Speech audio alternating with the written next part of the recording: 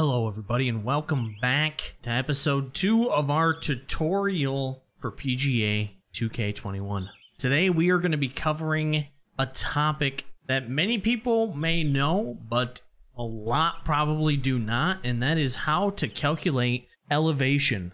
Today we are at the gorgeous newly released Sky Peaks Resort in Canada made by Mr. Arctic Fury himself.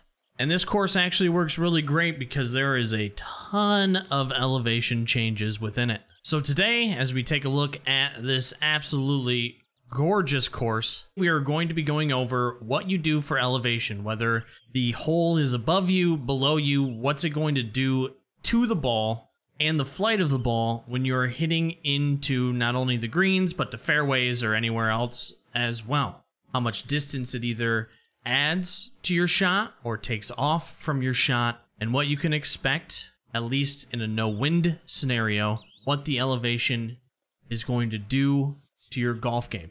Now, I do want to say for this tutorial, this is if the Pro Vision elevation is turned off. Because if you have Pro Vision turned on for elevation, then it will actually calculate all of that for you. So this tutorial on elevation is if the Pro Vision is turned off. So let's get into some shots and let's go over what is going to happen to your ball when there are elevation changes out on the course. So when you're looking at the HUD, the first thing that you'll see on your ball marker is that it is 295 yards. This is set to carry distance. So I'm going to carry this ball with my driver 295 yards. Right next to it, though, you will see something that says 75 feet down. That means that from where I am standing to where I am hitting to, it is 75 feet down in elevation from me. Now, the simple way to uh, look at this is if where you're hitting is below where you're actually standing, it is going to add distance to your shot. If what you're shooting at is, let's say, above you, like if we were hitting up here and it's 70 feet above, it is going to take distance away from this shot. Now, the calculation for this is still the same. If you played 2019, it is the same as, as it is now. Every three feet of elevation change either increases or decreases the amount of carry you're going to get by one yard. So if you want, what you could do is you could just, you could pull up a calculator. Eventually you'll probably just do these calculations by yourself without using a calculator. But if you want to, you can pull up a calculator. This is 75 feet down. We know for every three feet, it is going to add a yard of distance, which comes out to 25 yards. So, this shot, if we were to hit it full power right now, instead of getting 295 yards worth of carry, we are now going to get 320 yards of carry. So then what you can do from here, like for this shot, you can pull up this right here. So we are going to get 320 yards of carry. That's going to put us right here. If we were to stripe this right down the middle, that's where the ball is going to land. Again, with no wind, because the wind will affect it too. But if there's no wind, this is where this ball is going to land. You're going to get it the same amount of rollout as well. So we can zoom out here. So we're going to be landing somewhere in about the middle of that downslope right there. Now, we can play this. We can play this uh, just as is. The problem is we might get a roll out into the rough, uh, or we could just bring it back, club back, do the same exact calculations for this, and we know 75 feet. Every three feet, we add a yard, which gives us 25 plus a 248. This will give us a 273 if we were to hit this full power, which would put us right in the middle of the fairway. Now, the next thing you can do is you can look 273. We still have 278 to the hole. Do we want to just try to drive it just to try to get close? Uh, do we want to play it safe? How do you want to play it? But the decision is yours. We are actually going to try the driver. I did turn it down to beginner just because I want to make sure that I get perfect swings here. So we're going to try the driver and we're going to see where we get. We should get about 320-ish yards of carry, although it might be a little bit more because it looks like it might go down in elevation past the point of where we're at now. But it should be about 320. So let's see what we get.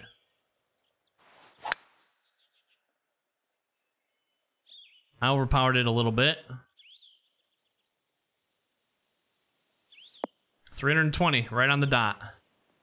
And we're to roll this nicely down here, and we are safe. All right, so now for our second shot, we have 199 to the hole. This goes 199 yards. And when we zoom in, we can see it. It's 199, it's 22 feet up. So we know that every three feet of elevation is a yard, 7.33. For this, we subtract. Because we are going uphill, that's going to take distance off. So if we do 199 minus, we'll just round down to 7. This shot is actually going to go, if we hit it full power, it's going to go 192 yards.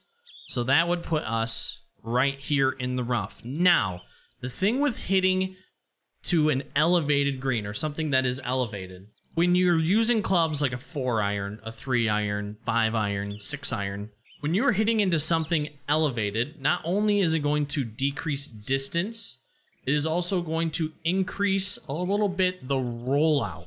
Because what you are essentially doing is you are cutting that ball off before it reaches its maximum trajectory down towards the green. Since we're cutting off gravity, pulling that down at a steeper trajectory towards the green, it's going to hit and it's actually going to roll out just a little bit more. So that is something to account for as well. But we're going to try to hit this full power into this green and see what we get.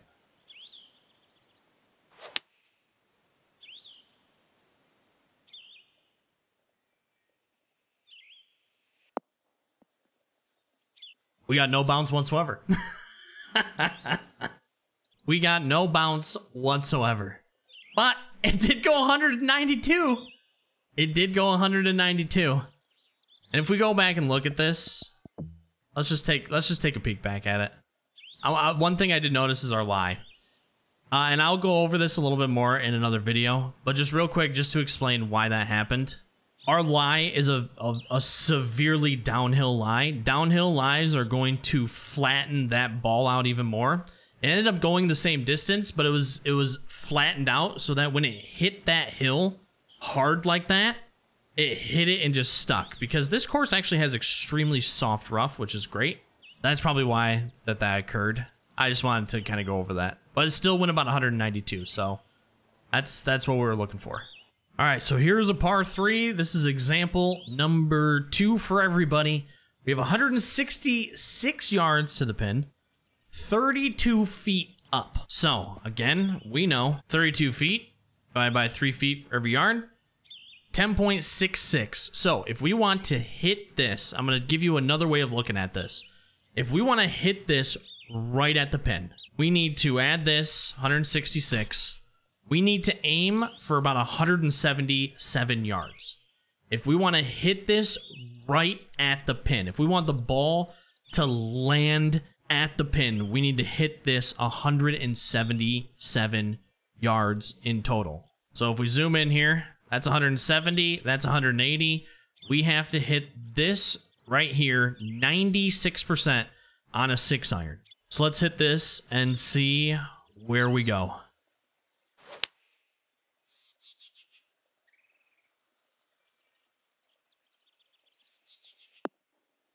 Little far, little far, but pretty darn close to dead nuts on the pin. So, the way you got to look at this, we don't want to hit it right at the pin. Uh, we do want to hit it a little bit short because we have to adjust for the rollout of the club that we are hitting. So, probably the best course of action, if you wanted the best shot into this, would be to do a little bit of a baby fade to this if you're a right-hander.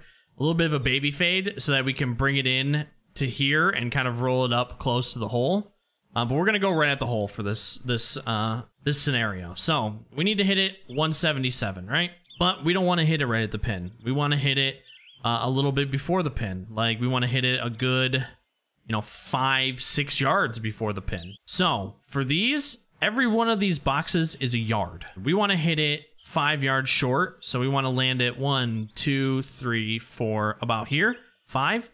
So if we're looking at 177 to hit it right at the pin, we actually want to hit it about 172. So we're adjusting for the elevation, but we're also adjusting for the rollout of the ball. Now, when this hits on this green, it is going to kick forward a lot because we're going to be landing it on a downslope, but we want to land it short to try to run it up into the hole or maybe even catch some of this and have it roll back. So we want to land it five yards short. We know 177 is what we need to land it at the cup. So we're gonna go for 172. So now let's uh, let's re-hit this at the 172 and see what kind of outcome we get.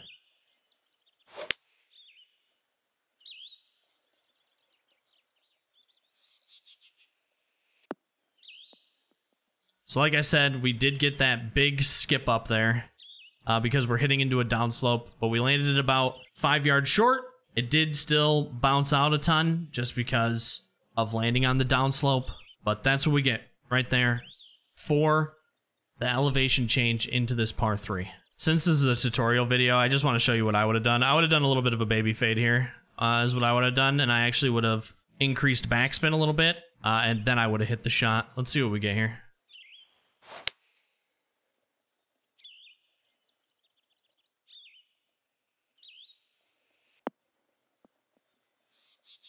I would have done something like that. We're on the putting surface. It was still went a little long, but we at least got a putt in for birdie here. That's what I would have done. All right, last example for everybody here, just to try to beat it in, you know? We have a driver here, 295 is this driver. It is 85 feet down. So 85 divided by 3 gives us 28.33. We're going to add that to 295 since it's down in elevation, which puts us at 323, pretty much 324, somewhere in the middle there. So we can actually go and look. Where is 324 out here? There it is, right there. 324 puts us just right of that initial end of the first bunker. So we can go out and zoom out and look at it. All right, so it puts us right at that edge. From this straight out to the fairway is where we're going to land this ball. But it's a driver. It's going to get some rollout, and that is sloping out to the left. So we are going to just stripe this right where we're aiming land it just off of the fairway and have it roll right onto the fairway.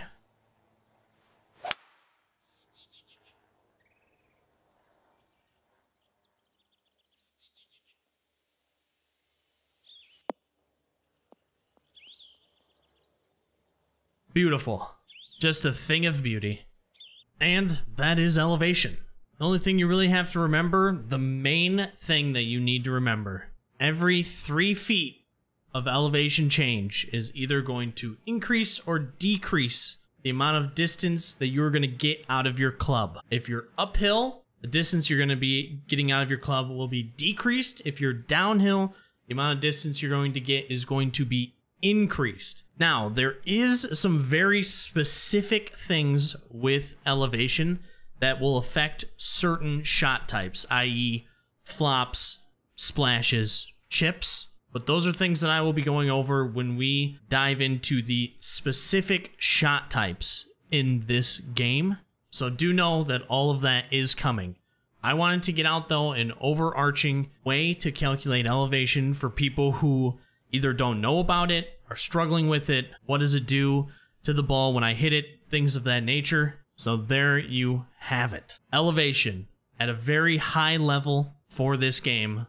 That is what elevation will do out on the virtual golf course after you strike the ball. Thank you for watching. If you have any questions about elevation, please let me know in the comments below. I also stream live over at twitch.tv slash respawn TV Sunday, Wednesday, Friday. We are usually playing this game. If you have questions, you can pop on over there. Ask me a question that you have about elevation or about the game in general. I do have a ton of tutorials coming out. So just know that if this is something that you knew and you're looking for something else, more than likely that is going to be coming. I have a ton of tutorials that I have scheduled to come out, so just be on the lookout for those here in the next couple of weeks.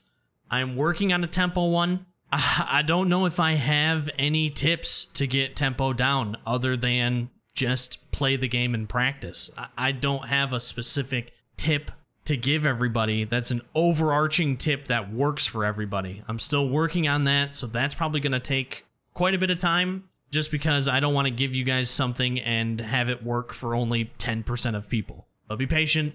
As soon as I find something that works consistently, I will 100% put it up onto a YouTube video. I also have almost narrowed down a way to read greens for people who are struggling with putting, uh, where to aim it, how hard to hit it, things of that nature. I almost have it completely narrowed down. I'm still working out a couple of kinks, but that is close, and that is more than likely going to be coming out here in the next couple of days. So be on the lookout for that as well. Thank you for watching this video, though. Greatly appreciate it. I hope I answered any questions that you have about elevation. Again, when it comes to chipping, splashing, flopping, there are some very specific things that happen, uh, and I need to just get myself into those specific scenarios, and I want to lump those all into when I go over the shot type itself. I'm going to have a tutorial on splashes, I'm going to have a tutorial on flops, I'm going to have a tutorial on chipping.